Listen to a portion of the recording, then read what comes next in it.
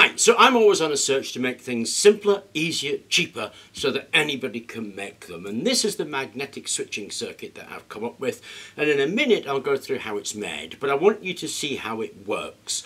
Initially, it's got a tiny bit of residual magnetism. I mean, it's next to nothing actually. It's really easy to pick that off because of the magnets that we're using in there. But if I turn the power on, it loses all magnetism altogether, which is really cute. Now, I've got this wired up to this H bridge here. Now the H bridge is a relay, and in video 965 we went through how to turn a, a relay into a H bridge, so really easy to make that. If I turn that relay on, we reverse the current in there, and the magnet this sticks again, and it's actually really quite strong. It's much stronger than that. much stronger than that initial one that we had. So if I turn the relay off, then it comes away. Still got the magnetism, but it comes away really easily. I have to turn the thing on for it to be able to do that. So this will reverse its magnetism from zero to fully on. And when it's in its rest position, there's a tiny bit of residual magnetism. Now I was asked whether it makes a difference the way I made these, and if you have a look at video 1036, we did some testing about the effect of having magnetic assistance against an electromagnet, because it's not just an electromagnet, it's a magnetically assisted electromagnet. When it's on, it's stronger than the coil by itself. So when I made this with just the coil, it was okay. It used quite a lot of amps, reasonable amount of strength. When I magnetically assist it, it's an awful lot stronger for less current. So the magnetic assisting really works. So that is the basic magnetic switch. Now, it did look like that. It's quite a lot of sawing and quite a lot of shaping.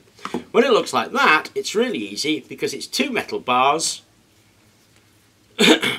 on this. And let's have a close-up of this. So this is really surprisingly uncomplicated. What it is, is a stack of 10 mil washers. So if I get my stack of washers there, and I superglued those into a stack to make me this tube.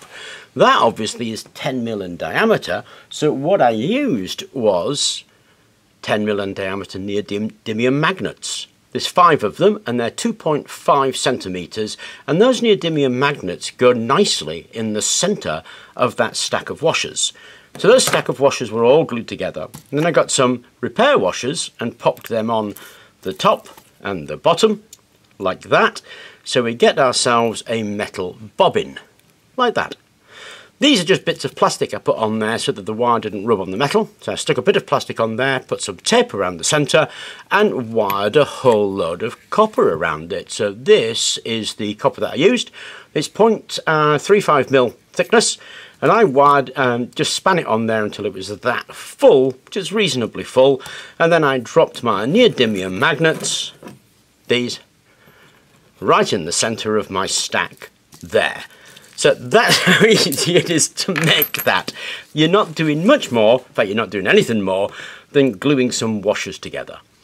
Now I chose those sizes because those are the sizes I had. Clearly if you have smaller magnets, use smaller washers. If you have 6mm magnets, well 6mm washers and so on. And that makes the activation coil. Now the way this operates is like this. We have our magnet, north, south, and then we've surrounded it with a piece of steel. So the magnetic flux can go like this in that flux circuit. If we put a lump of steel on the top there, then the magnetic flux is we're held within the piece of steel. And that's exactly what happens when I put those two bars on.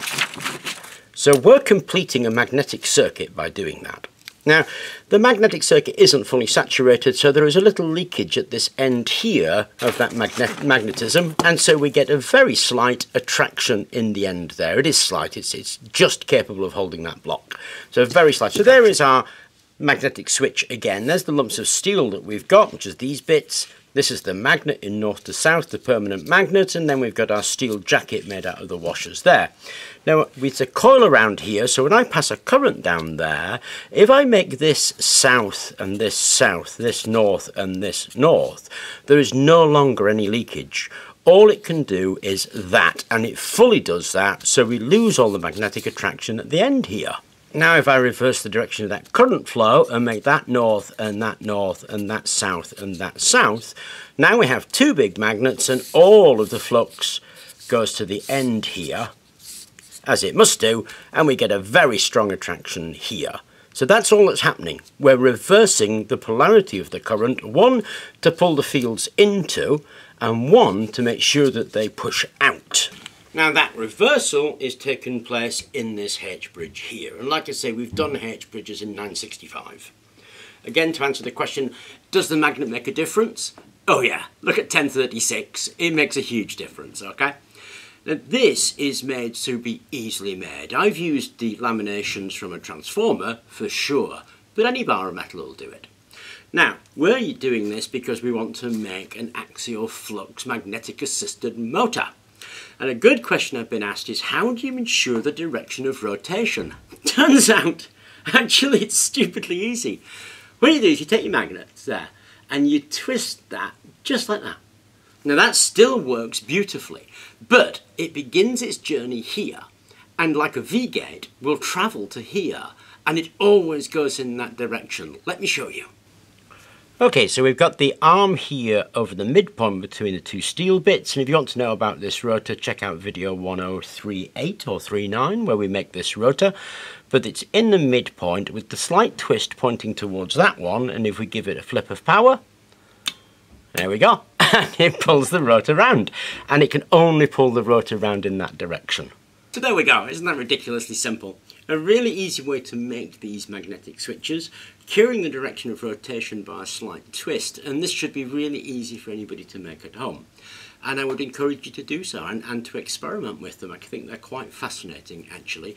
There is quite a lot of research on these axial flux reluctance motors, so there's uh, a good reason to be working on this. Anyway, I hope you're enjoying the project series so far, and thank you very much for watching.